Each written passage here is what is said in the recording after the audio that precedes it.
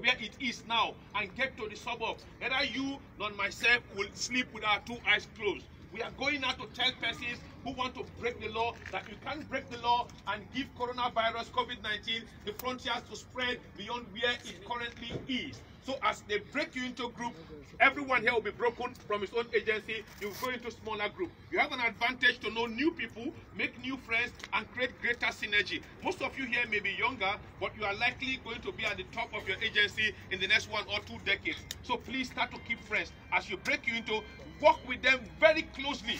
Forget whether your office or your agency is so respected on the road as it is the road safety, or around the market as it is the AAPB, or around top government issue as it is the DSS, or around the Nigerian society as it is the police, or within the AMAC community as it is the AMAC marshal, or whatever. You are coming for a special task. And please, let's try to be extremely civil to those who are also going to be extremely civil. For those who have sworn with their ancestral graves not to obey the law, somehow you need to use, if possible, the Indian approach because they must all comply.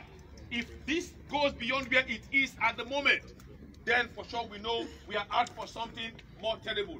Talk to them, conscientize them, and appeal to them to understand why they should comply with the restriction order currently given.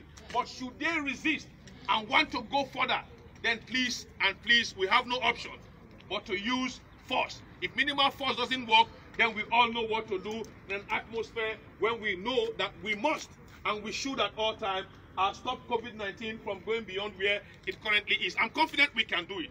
I'm very certain that we can do it. When you watch those clips, you see around where four, five, six men with stick clear out some worship centers, be it churches, be it mosques in other countries, then having this large crowd. I'm completely convinced that we can go around the city today and ensure that everyone comply and comply completely within the rules of engagement that we have all been given. I believe in you all, and I believe together we'll get this working. Thank you all, and God bless you all as we march on to the field. Thank you.